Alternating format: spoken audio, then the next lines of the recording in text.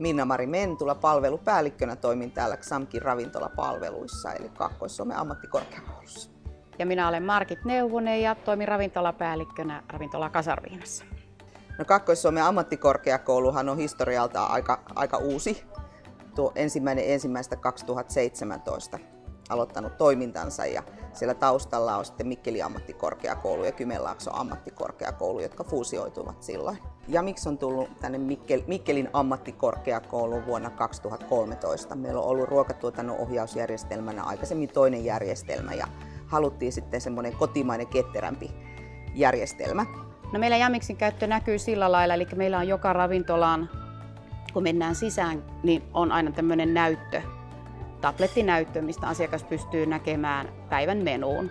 Ja lisäksi meillä näissä toimipisteissä, meillä ravintola Kasarmiinassa on tämä älylinjasto, joka tuo sitten vielä yhden vaihtoehdon lisää ja miksin yhteensopivuudesta tämmöisen digitaalisuuden käytännön kanssa. Eli siellä näkyy sitten ravintosisällöt, joita asiakas ihan omalla annoksellaan pystyy sitten näkemään lopputuloksena sitten, kun on sen ottanut siitä linjastosta. Eli hyvin pitkälle vietyä näkyvyyttä asiakkaan suunnan. No, ja miksi on ollut, ollut semmoinen arjen työkalu ravintolapäälliköille ja tavarantilaajille ja nyt sitten on tarkoitus myös tuoda enemmän näkyville asiakkaille. Et olen ollut tyytyväinen kyllä Jamiksin kanssa tehtävää yhteistyötä. Ehdoton työkalu, ei päivää ilman Jamiksia, ei onnistu työt. Täytyy olla. Ja tässä mittakaavassa oikein hyvä.